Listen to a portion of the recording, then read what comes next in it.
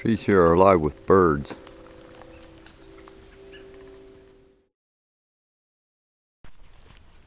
Beautiful chemtrail covered sky day to y'all.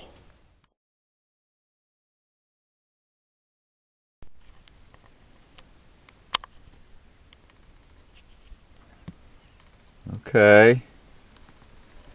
I tell you that uh, abiogenesis is the very foundation of evolutionary theory. And you all laugh at me and you say, no, it isn't. Evolution has nothing to do with abiogenesis. Well, there we have a big disagreement. Why? Where did evolution start? How did life itself evolve? If not from non-life. If life did not evolve from non-life, then it was created. If it was created, it did not need to evolve. By random chance,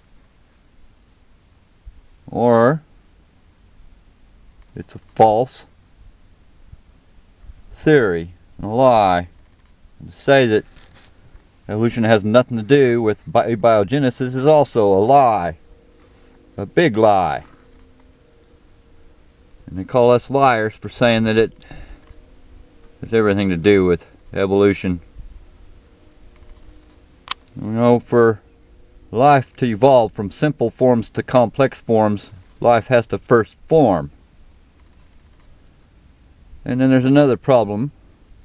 There's no such thing as a simple life form. Even the most basic single-celled organism is very complex. Requires a lot of complex interactions with little tiny machines in its body in order for it to function in the first place. And the probability the probability of chemicals randomly creating just one protein capable of forming anything close to an RNA molecule is so astronomical as to be laughable, as to be considered a possibility. Um, And you all know this. You continue to affront our intelligence and assault insult us by saying we don't know crap. We need to get an education. Well, I'm here to educate you. You don't know crap. You need to get an education. You believe in evolution, and you believe the lie has been taught by the propaganda industry by the socialist agenda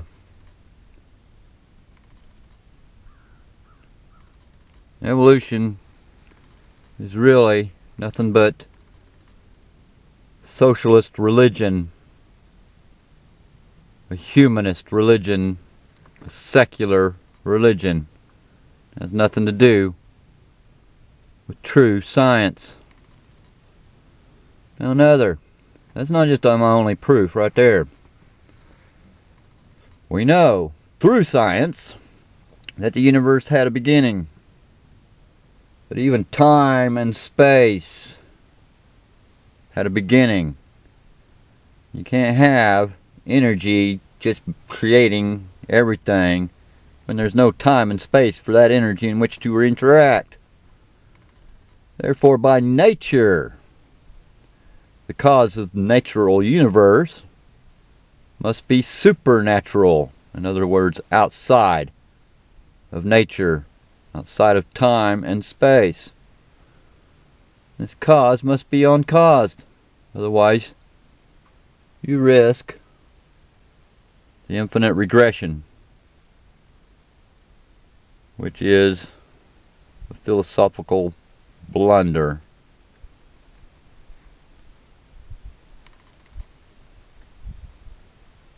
There's my second evidence. Third one. Fine tuning of life, nature itself, of all the laws of physics and of nature itself. Just one hundredth of thousandth of a degree off and nothing exists in these properties of this. It shows control mind behind it. This indicates a controlling mind behind it.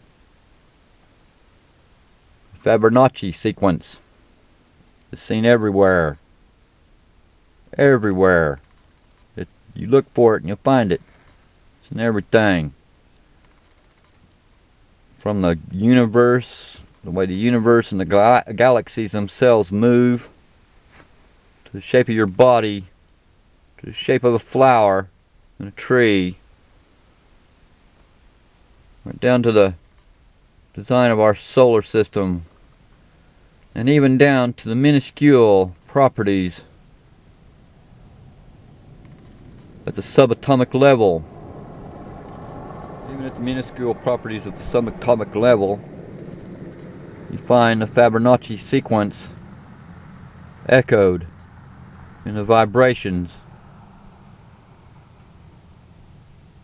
of those little subatomic particles. It shows controlled ordered sequence which cannot come about simply by chance.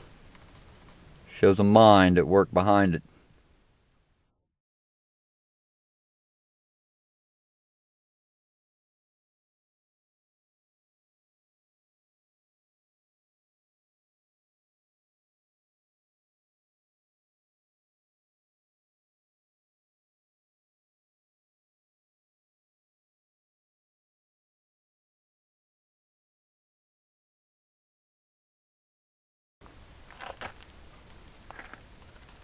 Hope y'all are having a good day. Peace, love, and understanding be with you all.